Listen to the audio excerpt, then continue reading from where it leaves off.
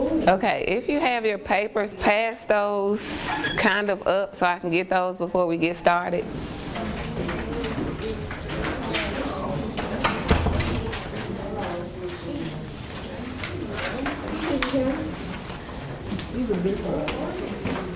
She watched Thank you. Netflix with babe. She,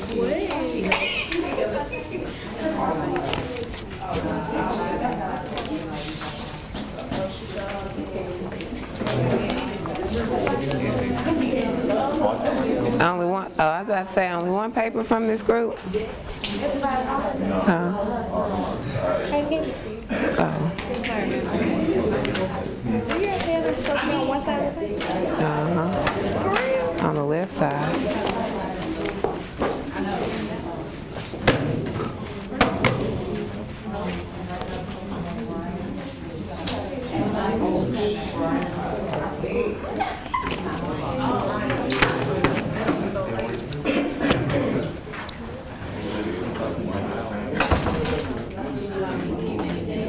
Okay, so the last time we were here, hello?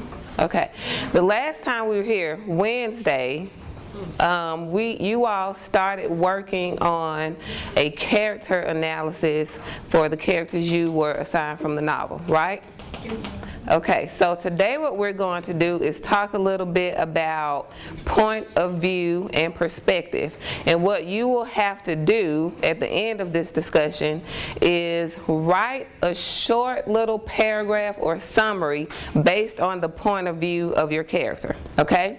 So on the board we have two words, perspective and point of view. And we're going to use those words interchangeably, but can anybody tell me what perspective is or what point of view means. What do, what do we mean when we say perspective? the way you see. Okay, the way you see something. Anybody want to add to that? Nobody else has any idea of what perspective or point of view means? Point of view is like your way of seeing something. Okay. Your position. Your position? Okay, so good. So perspective slash point of view. The way you see things, what your perspective is, how you interpret things. And perspective is really important, especially when we start analyzing situations. Um, remember that last Wednesday I asked you all to think a little deeply about the characters and why they act and why they react the way that they do to some things? Okay, so that's all a part of perspective and point of view. But to bring it to bring it home a little more closely, let me give you this example. So in the spring, spring break, most of you all will experience your first college spring break, right? And let's just say that we all are able to go to Cancun, Mexico for spring break. We're all, well, you all are going, I'm gonna stay here. You all are going to Cancun, Mexico for spring break, right? The legal drinking age in Cancun is what, 18? 16? 16. It's 16 to 18, which means that those things that you all kind of do on the sneak here, you can do them freely in Mexico, right? Okay, so you go to Mexico for that week, you come back here, and I say, I want to hear a little bit about your spring break. I want you to give me three different letters. One letter is going to go to your boyfriend or girlfriend. The second letter is going to go to your best friend. And the third letter is going to go to your pastor from your church back home. Right? Uh-huh. Okay. So, when you write the letter to your girlfriend or boyfriend, what type of information is that letter going to contain? Your girlfriend or boyfriend? good information. Like what? Like like if some other boys down, you gonna leave that out. Right. So if when you're writing to your boyfriend or girlfriend, let's just be honest. So if you met this boy in Cancun who goes to school at Tuskegee and y'all hooked up a little bit in Cancun, are you really gonna tell your boyfriend or girlfriend that? No. Okay. What type of information are you going to include in the letter to your boyfriend or girlfriend? Or your best friend. No, your girlfriend or boyfriend. You went to a park. If you went to where? Like, uh, A park in Cancun? Like, when your best friend you ain't gonna tell like the bad stuff. You're not going to give the details. You might say, we went to a party, It was chilling or something like that. right. I thought about you. I was in the club. I couldn't even I couldn't even dance because I was thinking about you, right? Okay. That's what you're going to tell your boyfriend or girlfriend. What are you going to write in the letter to your best friend? Like what? Turn up, the turn down. They gonna might be that with me. Okay, so you're gonna tell them the details. She said the turn up, the turn down, everything, okay? Why would you give that information to your best friend, but not your boyfriend or girlfriend? Cause your diary Cause I can tell all my And you can tell them all your secrets without fear of what? Them getting done. telling your business. Without them telling your business, without them judging you, without them getting mad at you, without them throwing it up in your face at the end of the day, right? So that's a matter of perspective. We know that when we tell our boyfriend or girlfriend something, they're looking at it from a different lens. They're looking at it like, you're mine, I don't want you with anybody else, this is supposed to be us. But when you're looking, when you something that's coming from the perspective of your best friend, they're like an open book. You all share everything. Um, you tell them everything, and you don't have to be worried about them judging you or throwing you under the bus later down the road. Okay, so there is just a different perspective. Now, the third letter goes to the pastor of your church back home. Oh, we, we just tell them we went to church. Okay. You don't preach like you. Okay, you found the only church on the beach in Cancun, and that's where you were, right? Don't preach It was on a prayer retreat. A prayer retreat, that's a good one, okay? So you went for your spring break, you went on a mission trip to Cancun, right? And if you weren't saved before you went to Cancun, you are definitely saved now. Okay? So that is the difference in perspective, right? So we all know how perspective works. We none of us can act like we are ignorant of what it means to have perspective because we tailor our experiences and we tailor the information that we give to people based on how they're going to perceive us and based on what we think their point of view is going to be, right? Which leads us back to the novel and the family in the novel. So when you all took your last, your quiz on Friday, what was one incident that was revealed in the novel? That um, Grandma Erma What the was, grandma do to Male- Was she touching on Brian? Right. She was molesting him, sexually harassing him, whatever term you want to give to it, it was not right. Okay, it was definitely wrong. Now, when the kids told their father about it, how did he react to it? He, he, He, he, he ain't take their side, he got mad at them. Right. He didn't take their side. He was angry at them. he said his son to me. He said that his son eh, his son is a man, which implies what? He can take it. that he should have been able to take care of it himself, right?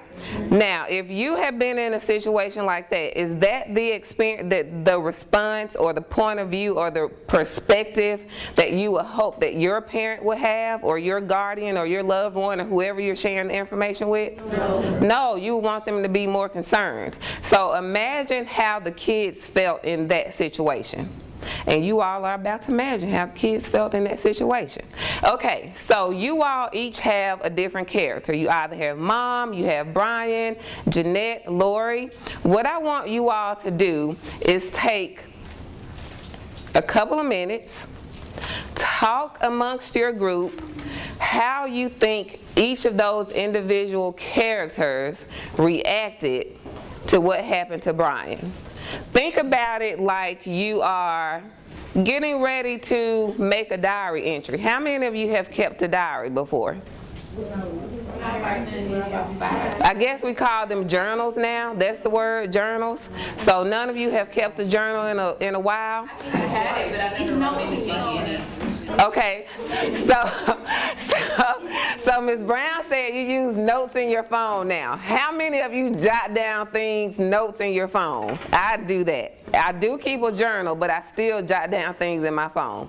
So we'll go with that scenario then. You have your phone, you have your iPhone, because who uses an Android? Um, you have your iPhone, and you are jotting down your reaction to what happened to Brian. But you're coming from the perspective of whoever your group's character is. So if thi- is this group Brian? What you all are Jeannette. So you all are looking at this from Jeannette's perspective. Okay? Um, which group has Brian? Okay, you all are writing from Brian's perspective. Where is Lori?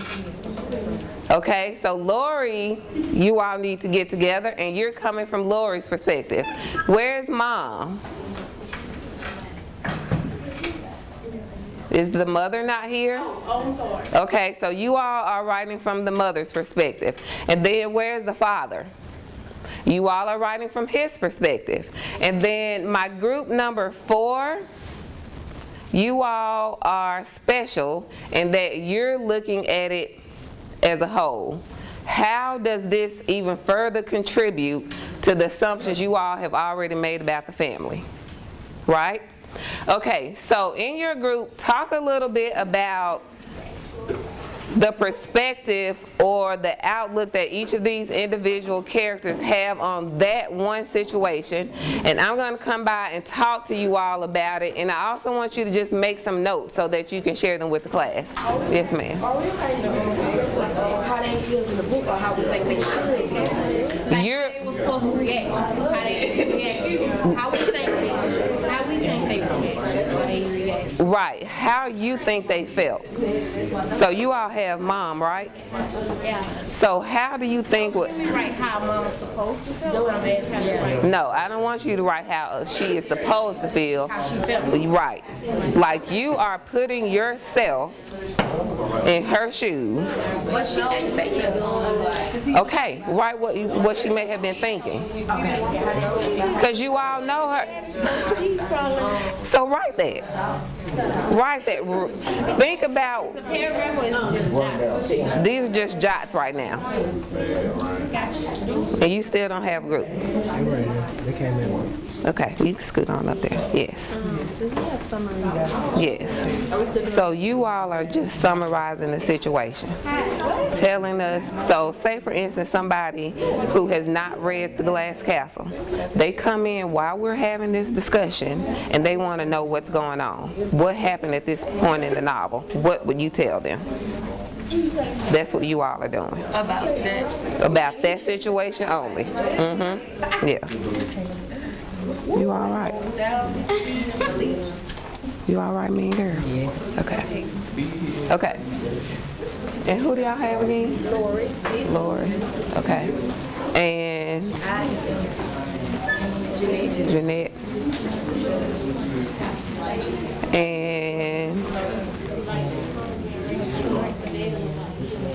so really you all are just gonna point out how this is just further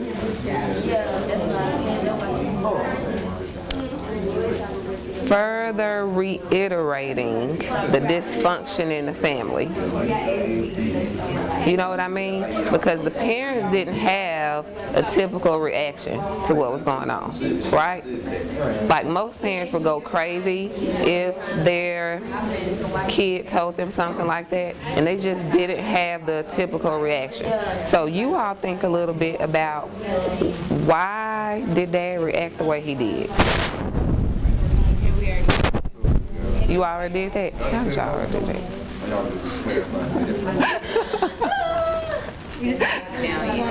Okay. We're gonna share with the class. Okay, so you all have the good one. Because this whole thing was really centered around his reaction. See, th- that group that's writing about the mom's reaction, she didn't really have one, so they are just Right. They're they're kind of gathering everything that they know about her in the novel so far and making an assumption. Uh, it's an educated assumption, but an assumption nonetheless. He actually gave you all a reaction. So I want you all to think about what may have been going through his head when he reacted the way that we that he did. Because we know that that's not a typical reaction that a father would have in a situation like that, right? Especially as it relates to his son. So think about what the typical reaction would have been, what his actually was, and the disconnect between those things. Like, why do you think he did that? Why was he protective of his mom? Why did he, like, basically tell his kid to get on? You know, you can take care of yourself. Think about those things.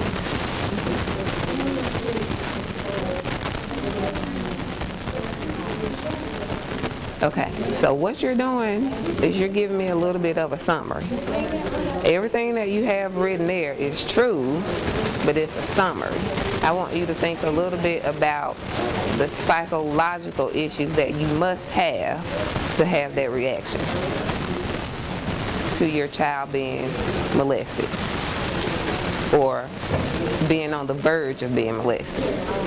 Think psychologically. And this is for everybody, for, for, for everybody. When you are um, jotting down your notes, be sure not to get just give me a summary of what happened. I already have a group who's working on the summary. Think about this from a psychological perspective. Remember when last Wednesday we talked about how the things that we do and the people that we are, um, the values that we have, they come from somewhere, right? Though we just we weren't just born having these thoughts and feelings and values and um, points of views and perspective. We actually got those things from our upbringing from our families from our friends. So think from a psychological perspective about why you know the characters may have reacted the way they did so if we have Jeannette here, one of the things that we discussed as it relates to Jeannette is that she is like the ride or die for their daddy, right? Lori will sometimes point out that their parents aren't all together and that they're wrong, but Jeannette is, is, is the one who, regardless of the situation, she is going to take up for her father, right? So why? What connection? What is the motivating factor behind her always being in his corner regardless of what happens? That's what I want you all to think about. Don't give me summaries. Think about what is going on in these people's heads that makes them react the way that they do. You can do it. You can do it. No, you just jot down some notes. Whatever it, it takes to get it out of your head and on paper at this point. So, um, do that along with, um, write down how you think they felt what they did. a journal entry and you're writing about this incident from the perspective of whichever character you have. Um, because we do know that when we, even when you all wrote your reflective essays, that was your your thoughts about this class and what you've done in here and what you hope to do in 102. Nobody else can influence that. That was you being alone with your own thoughts and your own writings, right? So if you think about this from that perspective and if you write these things down as if you are making a journal entry on behalf of your character, that may help you think a little bit more deeply about um, how the character may have felt. You can. In my essay, I wrote two of them instead of one them. That's okay. And you'll get you'll get it. You can change it and then resubmit it.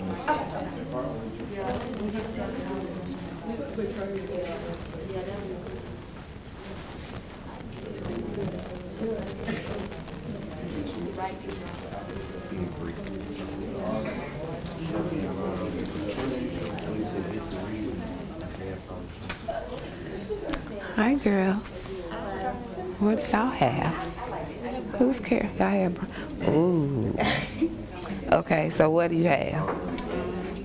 He put down that he didn't know how to react to the situation, and the reason he why he asked is because he doesn't get the same attention as other Okay, so write me a diary entry on Brian's behalf.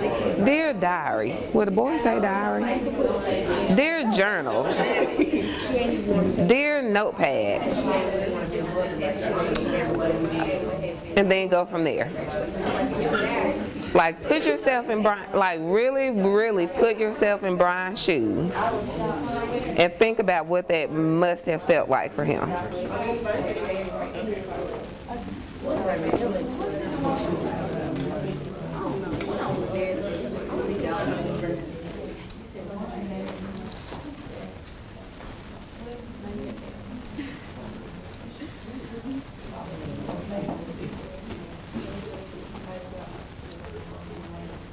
Wait, Girl, if you don't let me read what's on that paper.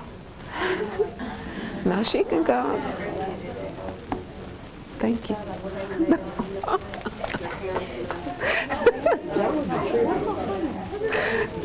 I'm laughing at you. I'm not gonna tell you.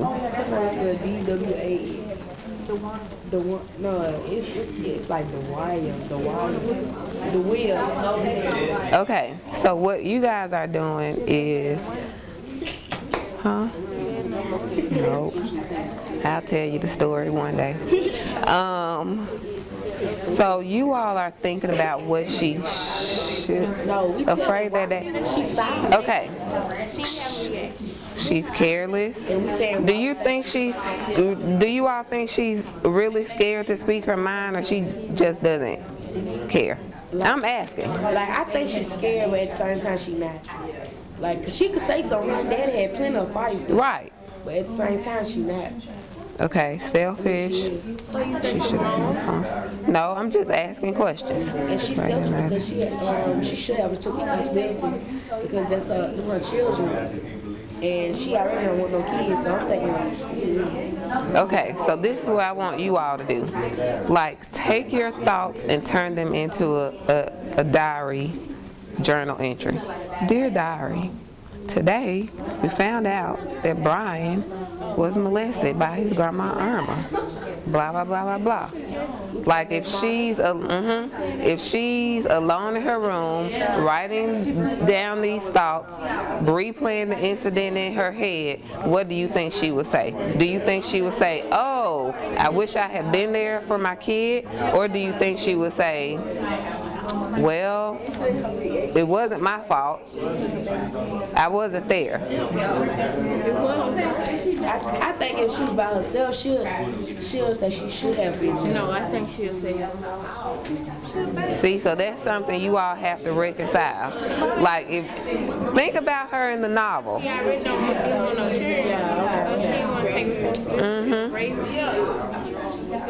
So she would probably, even even being reflective, she that's okay. Even being reflective, she would probably not take responsibility. All right. All right. Girl, y'all got it now. Yes. Hmm?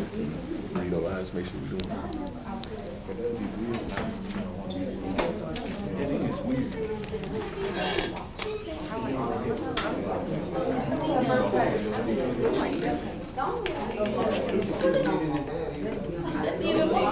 Ooh, now this is getting on the right road.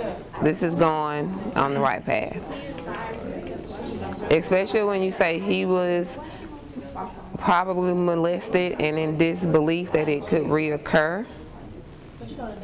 Um, that could definitely be a part of it. Definitely be part of the reason why he drinks so much. And I think it's safe to assume that he was neglected. Yeah, that's, you're on the right track.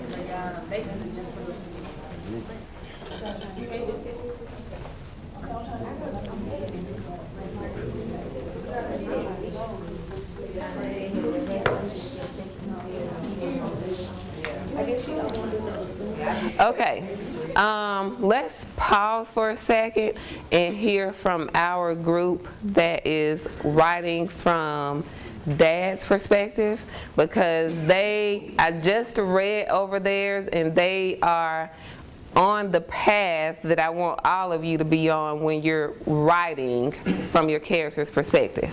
Okay. Mm-hmm. When he was younger, dad was probably molested and was in disbelief that it could reoccur. Uh, this could be a reason why drinks. Dad was probably neglected as a kid. Uh, that is how, um, and that's how his dad probably handled the situation when he was young, if he was molested by her. Uh, dad did not even want to come home to visit his mom because he did not want to be reminded of his past life. Okay. Okay, so what they did was that they started to think about why some of the things in the novel are occurring. So let's just say that the father was molested when he was younger, right? And he had nobody there to help him. He had nobody to look out for him. That could go one of two ways. It could go that he is overly protective and ready to punch anybody in the face who messes with his kids. Or the other option is that he didn't know how to handle it then, he doesn't know how to handle it now. And so which option do we see in the novel? He doesn't know how to handle it now, okay? Then think about his alcoholism. And that's one thing that we've thought about um, in the novel. I'm sure you all have wondered about where does the alcoholism come from? And sometimes when we see people who are addicted to drugs and alcohol, we can make, from our point of view, we can look at them and we can make assumptions. Oh, they're dumb. Everybody knows that drugs can kill you or, uh, or drugs can harm you or drugs do this, that, and other, and we pass judgments on them. But rarely do we think about what is it that maybe drove that person to, to that type of behavior, right? So just think about being molested at a possibly, possibly being molested at a young age. You don't have any outlet. You don't have anybody looking out for you because it's clear from the novel that he doesn't have a close relationship with his mother. So those sorts of things can can have a domino effect and could drive a person to um, drug-related behavior or alcoholic behavior. So what they have done is they are piecing together clues.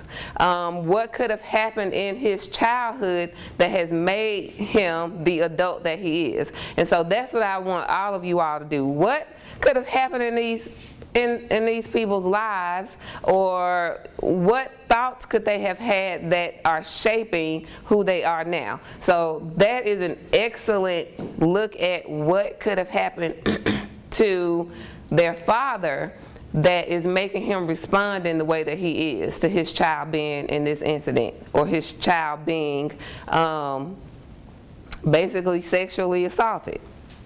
Okay? Everybody understand, have a little clearer idea of where we're trying to go with this? Does anybody have any questions?